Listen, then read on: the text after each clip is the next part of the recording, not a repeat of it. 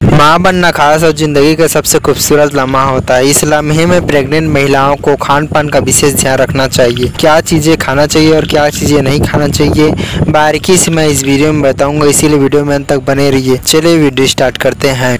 पहले हम जानते हैं कि आपको प्रेगनेंसी के दौरान नहीं खाना चाहिए। नंबर फ़र्स्ट है कच्चा पपीता।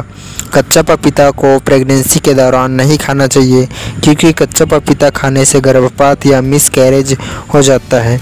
पपीता में पपाइन पाया जाता है, जो कि प्रेग्नेंट महिला के लिए खतरनाक है। इसीलिए इसका सेवन और कभी ना करें प्रेगनेंसी के दौरान। दूसरा अनानास।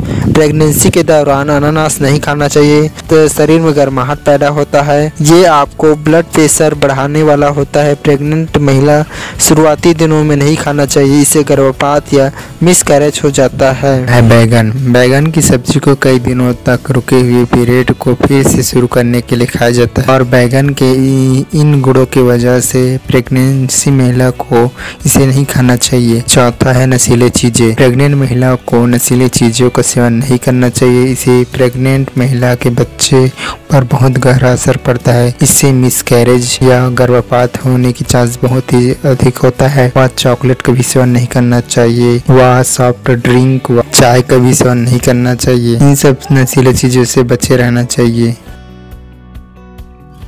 बात करते हैं कि प्रेगनेंसी के दौरान आपको क्या खाना चाहिए। नंबर फ़र्स्ट है सेव।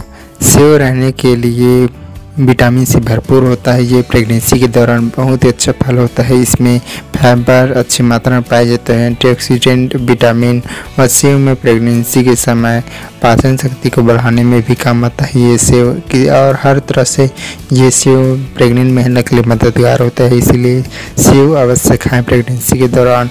दूसरा है पानी। प्रेगनेंसी के दौरान अधिक से अधिक पानी पीना और इससे ब्लड शुद्ध होता है और और रोग प्रतिरोधक भी क्षमता बढ़ता है। महिलाओं का प्रेग्नेंट महिला का इसीलिए अधिक से अधिक पानी पीना चाहिए और शरीर में पानी की कमी नहीं होना चाहिए। तीसरा है मिल का दूध। प्रेग्नेंट महिला को दूध या कैल्शियम का सेवन अवश्य करना चाहिए।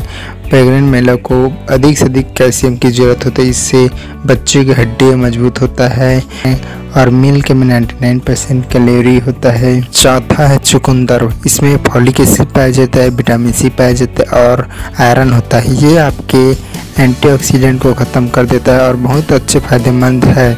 और इसे खाने से लीवर भी अच्छा होता है, या ब्लड बन वह ब्लड भी अच्छे से बनाता है, इसीलिए चुकंदर का सेवन प्रेग्नेंट महिला को अवश्य करना चाहिए। वह वीडियो पसंद आया तो लाइक करें वह अपने दोस्तों के साथ शेयर करें वह कमेंट करें किसी भी प्रकार की सवाल हो तो। वह ऐसी ही वीडियो हेल्थफुल वीडियो देखने के लिए प्रेगनेंसी से रिलेटेड वीडियो देखने के लिए मेरे चैनल को सब्सक्राइब करें। धन्यवाद।